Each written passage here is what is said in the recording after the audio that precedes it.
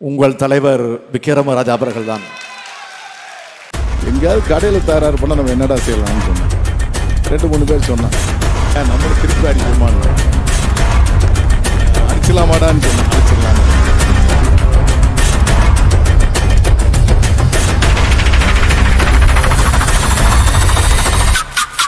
அந்த ஒரு கடையை காப்பாற்றுறதுக்கு நமக்கு ஒரு ஆள் அடித்தோம் அவங்க இருபது பேர் வந்து என்ன செய்வாங்கன்னா அந்த தெருவில் இருக்கிற அனைத்து கடை வெளியே இருக்கிற மூளை லைட்டு போர்ட் லைட்டு எல்லாம் அடிச்சு உடச்சிட்டு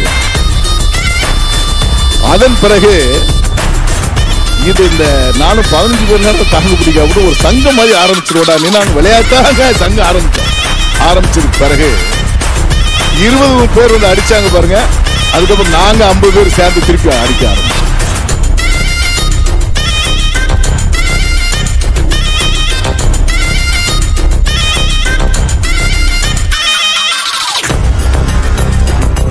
இப்படி அந்த ஒரு ஆன்லைன் மோகம் மோகத்தின் மூலமாக நமது உள்நாட்டு வணிகம் நீ நல்லா புரிஞ்சுக்கிடணும் உள்நாட்டு வணிகத்தை வெளிநாட்டு வணிகர்கள் சூறையாடி கொண்டிருக்கிறார்கள். இதுதான் உண்மை.